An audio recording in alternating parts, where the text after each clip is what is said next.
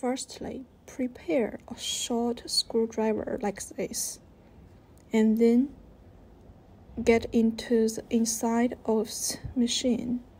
You can see there are four lines here, actually eight.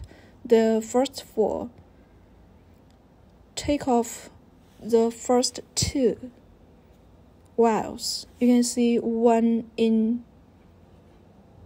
black color, the lines, and one line is red color loosen the second one and loosen the third and the first one. Take the first one black one to the third black one. Connect to that place. Tighten it.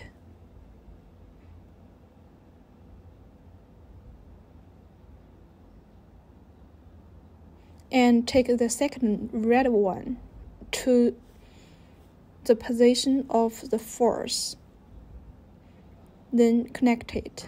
The black wires to black wires, red wires to red wires, then back into the front of the machine. Connect the power supply. Start the machine.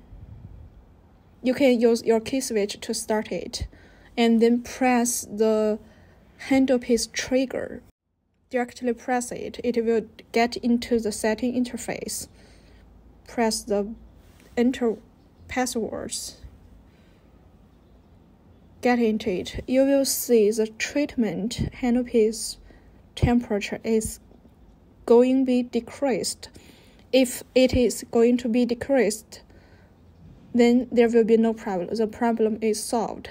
The cooling will be getting well, you can touch the handpiece to feel it.